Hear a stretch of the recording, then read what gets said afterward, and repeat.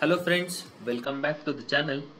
In this video, we will see how to interface multi-channel ADC on the STM32F103 controller. We will display the results on the virtual terminal by using the UART.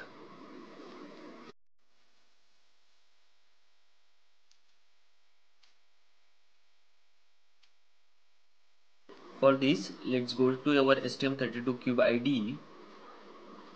Then, the pin configuration, click on analog ADC1, then select the IN1, IN2, then go to the settings. Now here you have to select the continuous conversion mode to be enabled. Then set the number of conversions to 2. Then go here. In rank 1 set channel 1 and sampling time to 39.5. In rank 2 set channel 2 and sampling time to 39.5.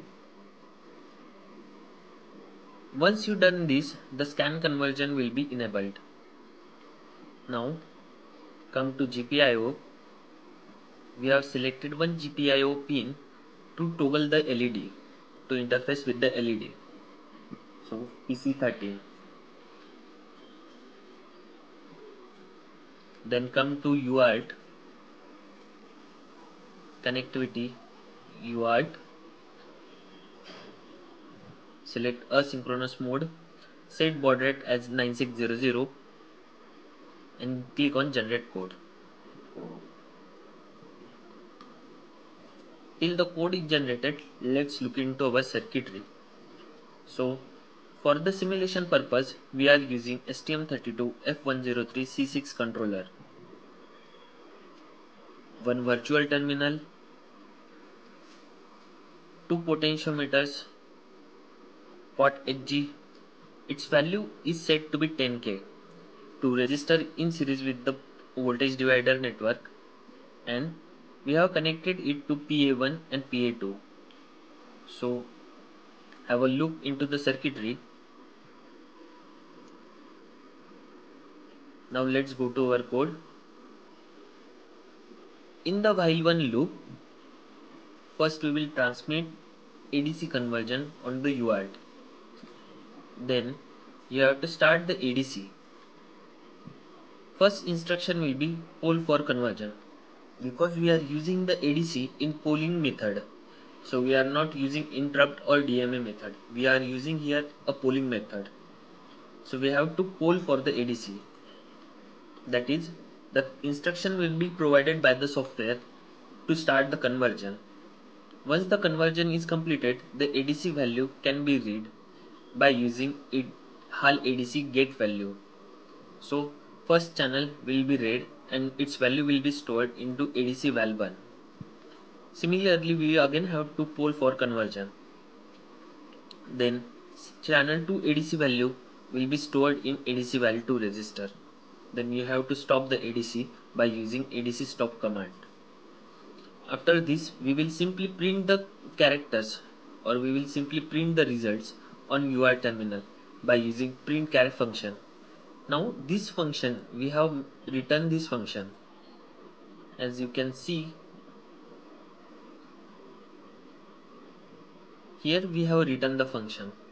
So simple parameters is 32 bit value are passed as a function parameter then in num where we get first bit then we add 48 to it by modulus operation Similarly, it will do until the value, num value equals to 0.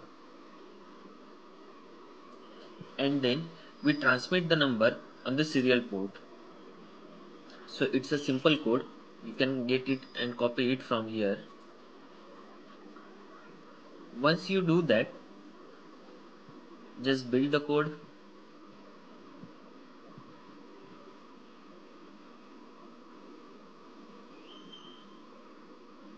Go to properties.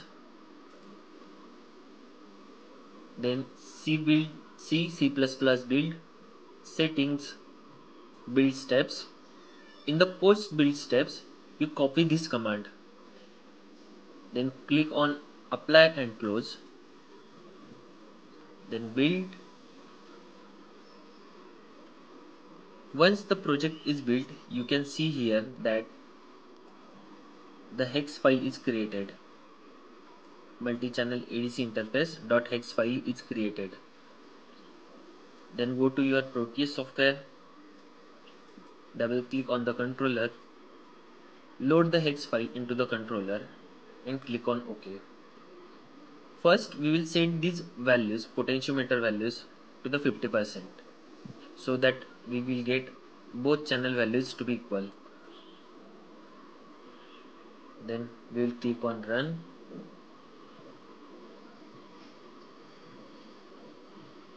As you can see both channel values are equal.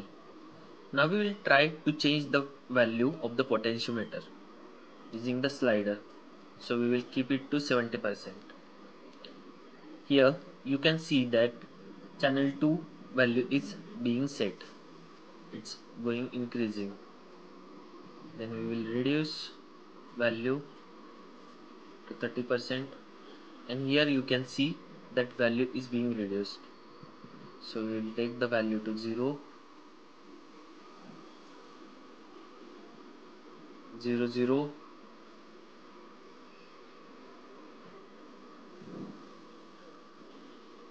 then we will take it to maximum.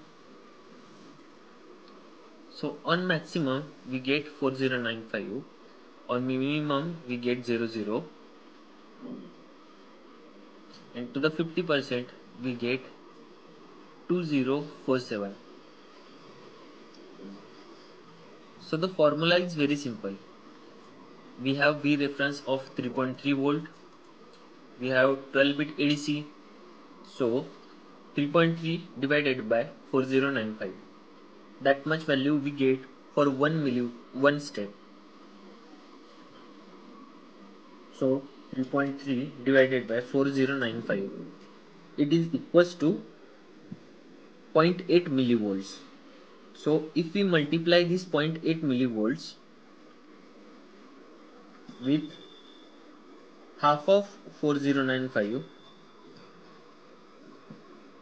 that then we get 1.65 volt. So if we check the voltage using the voltage probe so we will put voltage probe over here. Yes we get 1 1.65 for so for 1.65 we get 42047 value. And if we increase it to full potential that is 3.3 volt then we get 4095 and if we decrease it to 0 then we get 0 0 so we keep it 1 so point for 0 0.03 we get 41 for 0 0.06 we get 82 so by 41 the values are increasing by 41 Now these values are dependent on what voltage we give to the ADC channel. So it's very basic example that we have taken. Thanks for watching video. If you have any queries you can post it to the in the comment section or you can directly mail us on stmmetatronics at the rate gmail.com. Thanks for watching the video. Like, share and subscribe.